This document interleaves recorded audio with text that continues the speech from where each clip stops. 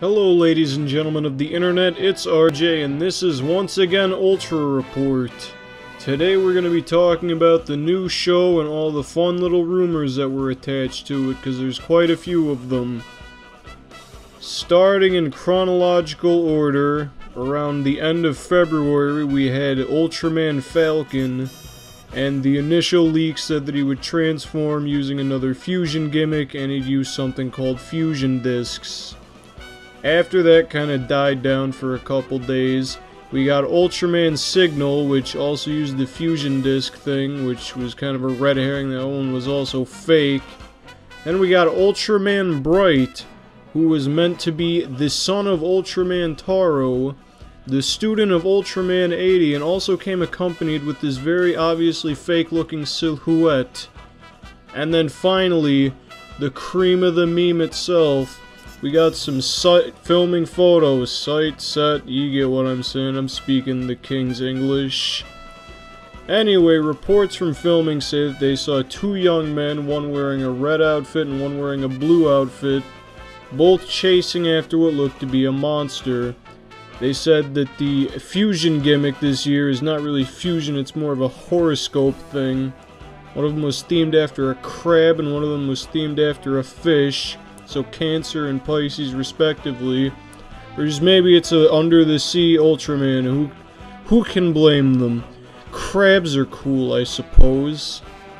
This is the one that seems the least likely to be absolute bullshit, considering there's two pictures to back it up.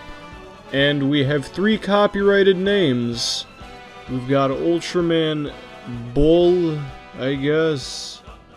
Ultraman Russo, and who could forget the classic Ultraman Lube? Finally, we have the one piece of information that is absolutely not fake. Yesterday night, we had the Televikun scans leaked, and it shows this thing. Actually, it shows him twice. We have a pretty weird looking Ultra with normal looking eyes and a normal looking color timer, but if you look very closely, you'll see that he's actually triple fighter. And also he's got some nice big shoulder pads and some arm knives. So, interesting design take, or at least it's interesting based on what we can see. For all we know, he's wearing a big hat and it's a fake out. Speaking of fake out, we've also got a few people saying that the other names might just be red herrings, since Tsuburaya knows we've been watching the copyright bot for the last few months, so only time will tell. The magazine scans also only show one Ultraman while the copyright shows three, and then filming said there was two of them. Believe what you want. I personally believe that it's probably not gonna suck as much as Geed did. Just let a poor optimistic man hope, please. So to boil everything down into its simplest terms, just wait. Even if Televikun doesn't show off the new Ultraman next month, the toy catalog scans will. They don't really have much of a choice on that one. That just leaks. That's fate.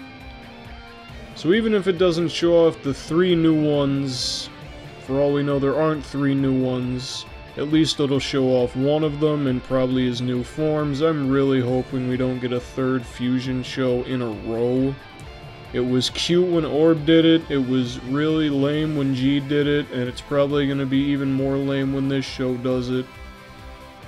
Even if they repeat the gimmick, as long as the story isn't as astronomically terrible as Geed's was, we should be off to a better start. As a final little tidbit to cap this episode off, the Geed movie accidentally leaked and it's dubbed in Chinese, so you can't really hear any of the actors' performances. But it is floating around the internet if you feel like watching it. I think it's pretty good.